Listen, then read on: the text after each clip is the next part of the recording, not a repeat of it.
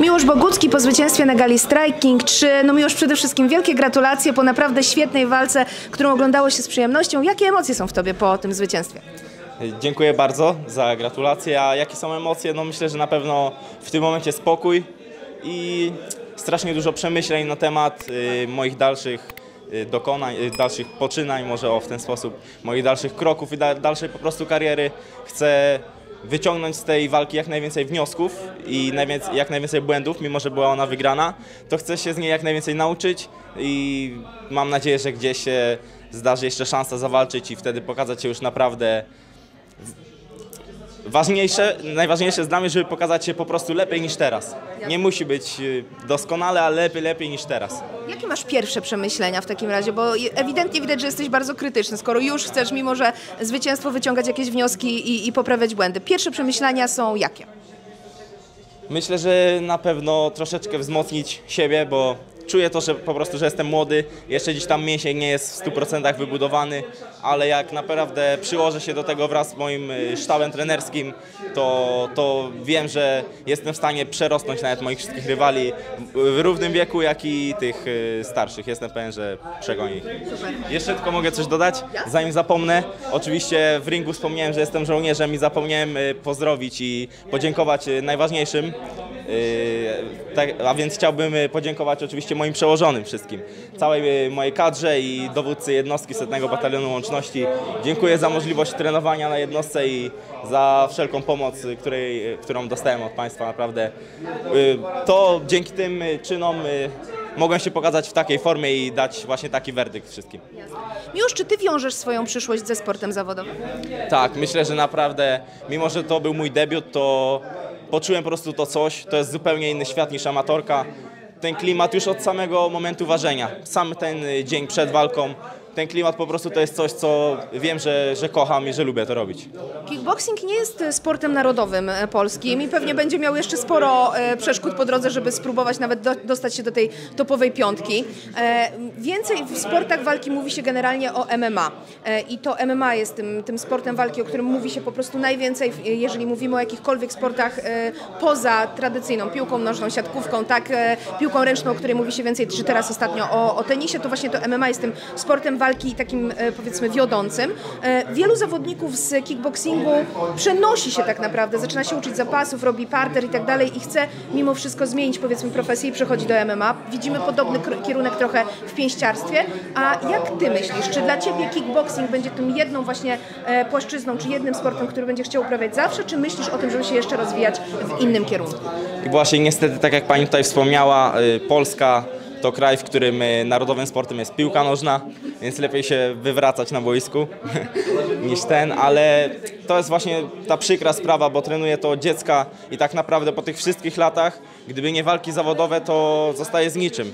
Mimo to, że zdobywałem wiele osiągnięć e, w sporcie amatorskim, e, udało mi się nawet, moim największym osiągnięciem było Mistrzostwo Świata w K1, więc naprawdę te osiągnięcia jakieś już są, a mimo tego wchodząc w życie dorosłe poczułem po prostu, że zostaję z niczym. I te walki zawodowe to naprawdę jest myślę, że ten krok, który przeważy w moim życiu. I odnos odnosząc się do dalszego tematu właśnie to powoli się na pewno będę, zobaczymy jak się tutaj kariera y, rozwinie, zobaczymy jak to wyjdzie, zobaczymy czy będą y, dalsze oferty, zobaczymy jak to będzie wyglądać, ale na pewno gdzieś tam w głowie pojawia się plan, właśnie to MMA jest lubię po prostu rozszerzać sobie te sporty. Tak samo jak y, wywodzę się z K1, ale w Mistrzostwach Polski Muay Thai też tam mieszam, też tam y, zdobywam y, tytuły. Gdzieś tam na właśnie międzynarodowych to samo, gdzieś w boksie startuję, więc dla mnie im więcej kończyn mogę użyć, tym lepiej. Więc myślę, że na pewno gdzieś tam przyszłościowo będę starał się w to przejść. Miłosz, e, dzisiaj e, wystartowałeś, to był Twój debiut, e, debiut zawodowy. Rywal, z którym walczyłeś, miał trochę gorsze warunki fizyczne niż Ty, był niższy, miał widać ewidentnie mniejsze, mniejsze zasięgi. Jak sądzisz, czy to było głównym czynnikiem, dzięki któremu wygrałeś? Nie, myślę, że absolutnie nie. Tutaj y, Pani powiedziała, że mia, mia, ja miałem lepsze warunki fizyczne, ale do tego można odnieść się na różne sposoby, ponieważ jestem młodszy, on był starszy, więc też ten mięsień troszeczkę tam bardziej zbity. No i właśnie ten wzrost, ja jestem wysoki, ale gdzieś tam jednak jest, jak jesteś mniejszy, to tej krzepy powinno być trochę więcej, więc myślę, że tutaj absolutnie to nie miało żadnej różnicy.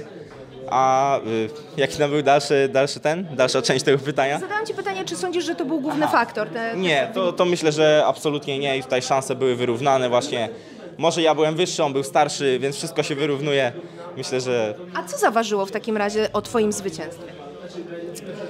Oczywiście y, w żadnym stopniu tam nie chcę gdzieś przeciwnika urazić ani nic, ale no myślę, że po prostu ten y, mój przegląd walki po tych wszystkich y, walkach, po tych wszystkich latach treningów, gdzieś tam już mam taką smykałkę, że po prostu wyczuwam dużo rzeczy, zanim się zdarzą. Więc myślę, że to było właśnie takie o te moje oko trzecie powiedzmy, że to przeważyło. Gdzieś tam potrafiłem wyprzedzić po prostu jego dokonania i myślę, że to na pewno było y, dużym dużym ruchem, tak, dużą przewagą. Martyna wspomniała tutaj o e, Twojej przewadze w warunkach fizycznych. Ty skontrolowałeś, że może to nie miało dużego wpływu. Ja uważam, że korzystałeś bardzo dobrze e, z tej różnicy zasięgu. I teraz jest kwestia, bo jesteś młody, ile myślisz czasu dasz jeszcze radę zbijać wagę do tego 81 kg? No właśnie, to tutaj kolejna kwestia, oczywiście tak. Mam dopiero 19 lat, wiem, że też nie mogę się dojeżdżać z tą wagą, mój organizm się rozwija, więc yy, czy zostanę w tej wadze, nie wiem. Wiem na pewno, że nie boję się nowych kategorii, nie będę się ograniczał. Jak moje ciało stwierdzi, że mam się bić w 8.6, to wjeżdżam w 8.6 i tam robię robotę. Myślę, że nie ma co tu więcej dyskutować. Jakieś kolejne walki obce już na horyzoncie, czy jeszcze nic nie wiadomo? No myślę, że ta walka na pewno mi tutaj otworzyła bardzo dużo i gdzieś tam już jakiś zarys y, się szykował y, na początku roku, ale czy się uda, właśnie dowiem się teraz po konsultacjach z trenerami, z menadżerem i będziemy działać na pewno. Nie chcę stanąć w miejscu znowu. Różal czy Wach? Tutaj też na pewno y, obserwuję Różala przez szmat czasu, gdzieś tam był na pewno moim idolem y, w dłuższej, dłuższej większym części, części mojego życia, ale y, przeraża mnie trochę ta różnica właśnie gabarytów, bo co tutaj jak ja miałem walkę z moim imiennikiem, jeszcze to było tak zbalansowane, ale tutaj Różal z Wachem, no jak, y, jak to się mówi, z Dawid z Goliatem? Dawid z Goliatem, dokładnie. Ale gdzieś tam wierzę sercem za Różalem, ale te warunki fizyczne według mnie odpowiadają i przeważają właśnie na stronę pana, pana oczywiście Bacha. Jasne. Miłosz, czego możemy Ci życzyć w takim razie na tej dalszej drodze Twojego, te, tego losu fajtera?